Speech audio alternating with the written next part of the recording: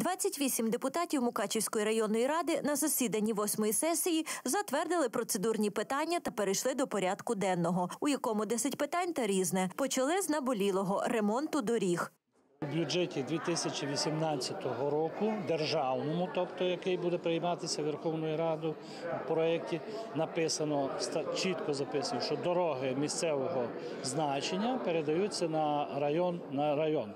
Тобто районну раду, адміністрацію в бюджеті державному на Закарпатську область йде 240 мільйонів.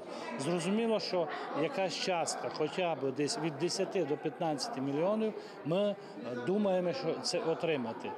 Депутати затвердили програму будівництва, капітального поточного ремонту, реконструкції та утримання доріг Мукачівщини на 2017-2021 роки, яка передбачає відновлення 20 найбільш проблемних ділянок автошляхів. Також підтримали депутати і збільшення фінансування програми Турбота на 2017 рік. Підтримали коштами районної скарбнички і первинну медико-санітарну допомогу.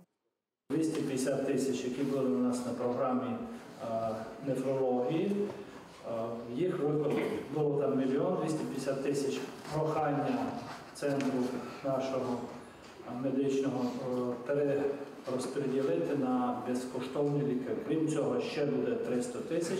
Підняли і проблемне питання скорочення штатних одиниць центру первинної медико-санітарної допомоги, яка обслуговує приблизно 101 тисячу жителів Мукачівщини.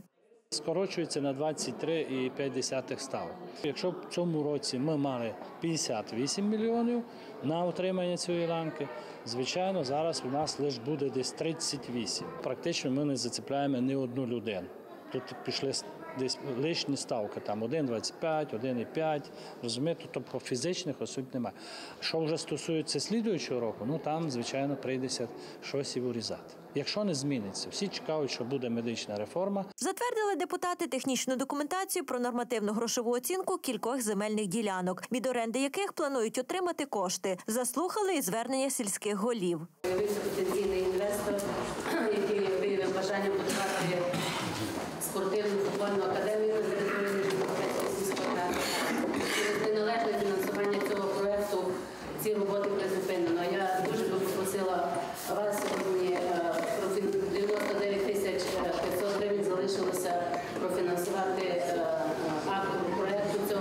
Якщо ми фінансуємо, дофінансуємо е, генплан нижньому коробцю, там планується побудуватись за е, гроші угорського уряду футбольна академія, 5 футбольних полів, басейни, готель, е, гуртожиток е, і ціла школа для е, підлітків е, наших Закарпаття.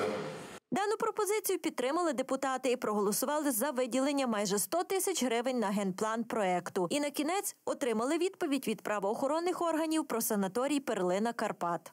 Всі як один сказали, що все розбираються, порушена справа, вона занесена в- реєстр. Ми чекаємо, які будуть результати. Але там ну, шахрайство дуже на такому високому рівні зроблено. Ми хотіли його оголосити безгосподарним, потім, як проходить термін, береться у власність району. Тобто розпоряджатися, можна і продати його чи ще щось, але, але розпорядитися. А вийшло, що за 2 мільйони гривень хтось купив ну, такий великий комплекс. Сесію не закрили, аби продовжити роботу на другому пленарному засіданні.